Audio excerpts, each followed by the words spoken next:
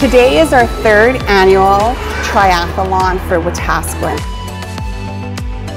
We have a whole range of, of, of people here, from little kids under seven years old to national competitors.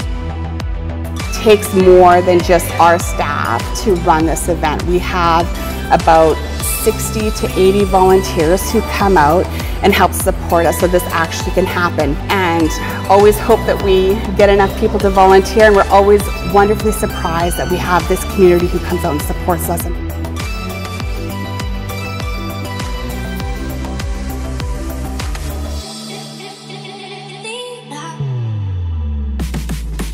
Today we're volunteering. I work at the hospital, so we just want to come out and support the foundation. I work in emergency and they are a huge financial support to our department.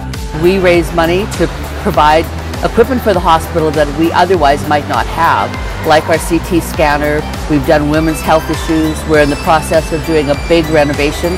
To renovate our laboratory, which is $900,000, and we have $300,000 going to the emergency department this year.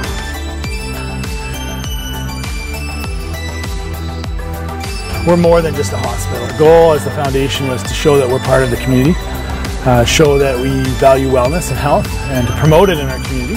And it's grown to an event that now the whole community supports and is involved in. Anything related to health in our community, we try to help out with.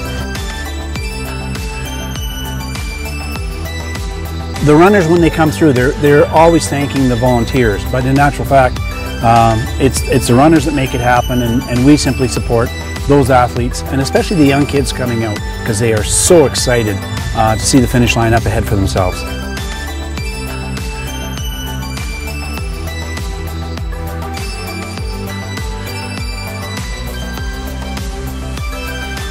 On behalf of the board and the staff, we want to thank everyone who's participated as always. We can't do this without our donors and our supporters. We're grateful to all 153 racers that came out and their families. Stitch a Magician and Coach's Source for Sports uh, who have helped make this possible and uh, make this a great event for our community. So thank you very much.